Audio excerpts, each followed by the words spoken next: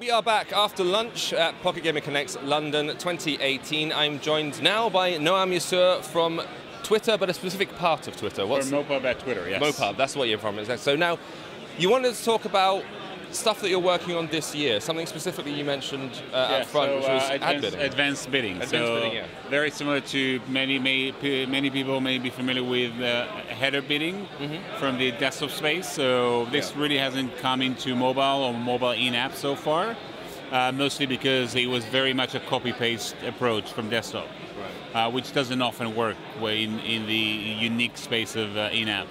Uh, what Mopub is doing now, Mopub is to, for the people who don't know, Mopub is a monetization platform uh, for app developers, specifically in-app.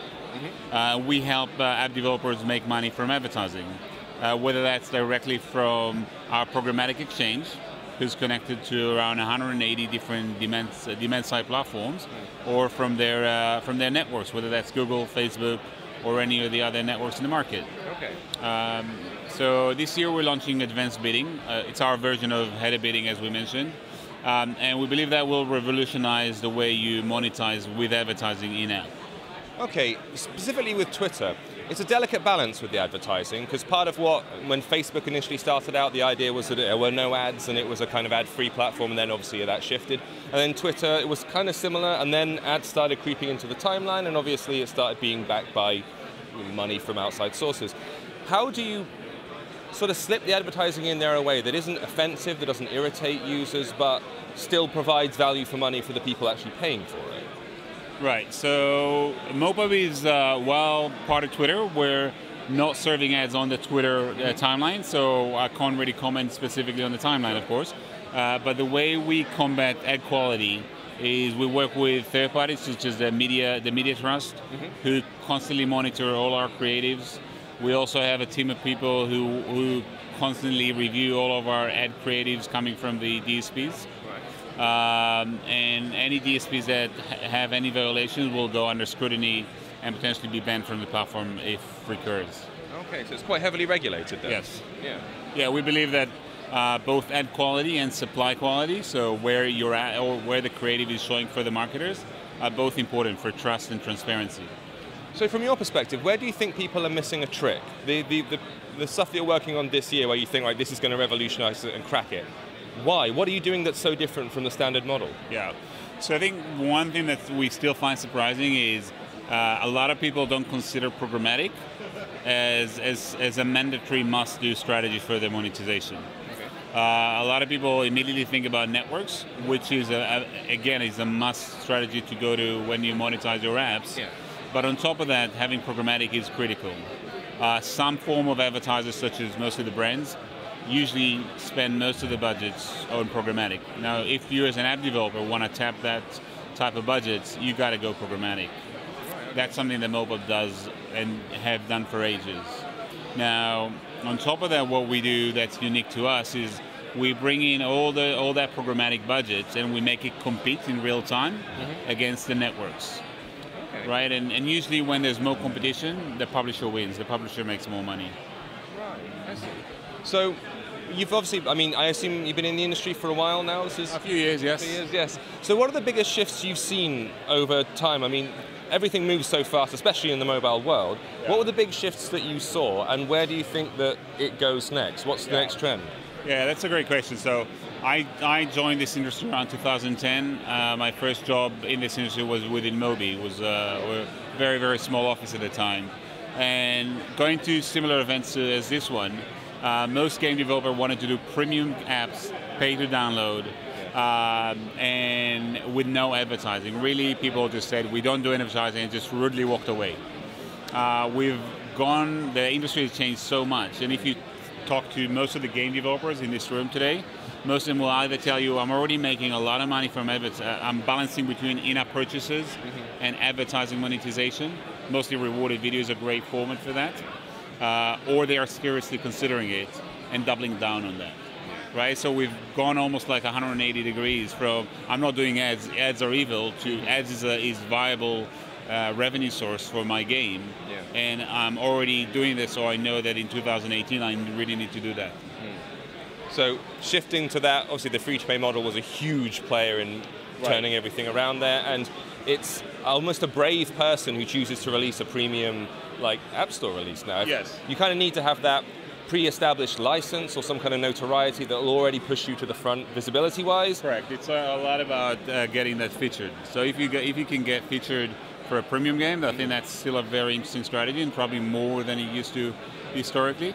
Today, people are more used to pay or easily put their thumb or their face these days to pay for an app. Uh, so, so it's easier to pay, and people mentally or psycho- uh, mentally are more uh, comfortable with paying through their phone to, for an app. So that's that's I think premium is a viable strategy. Although, how do you promote it? How do you get people to pay for it? That's always in scale. That's that's always a challenge. So a publisher comes to you, let's say, and is looking to, to push something, and what's the first mistake that they make? Whenever they're consulting you, like, right, I want to get visibility for my app, or I want to start getting, you know, decent amount of return on the investment and getting the ad payments paying off. Where are they going wrong when you look at what they've done up until now? What's the most common error when it comes to promoting stuff?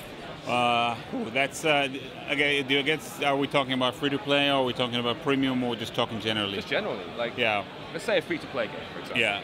So I think one, you really gotta get your attribution correctly. You, you, you so uh, even before attribution, I think today the other trend that we're seeing is the prof- professionalization Okay. of app developers.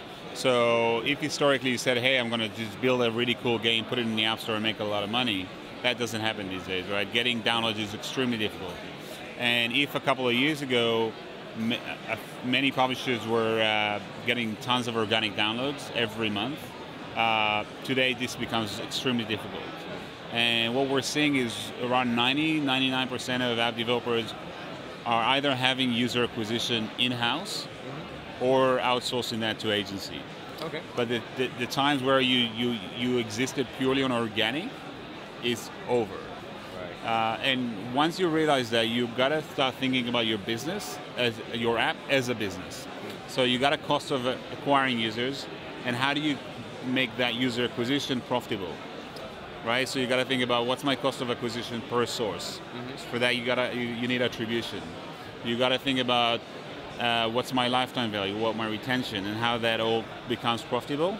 So you need a lot of you got to invest in tools. Uh, attribution is one, analytics is one, Yeah. and analytics.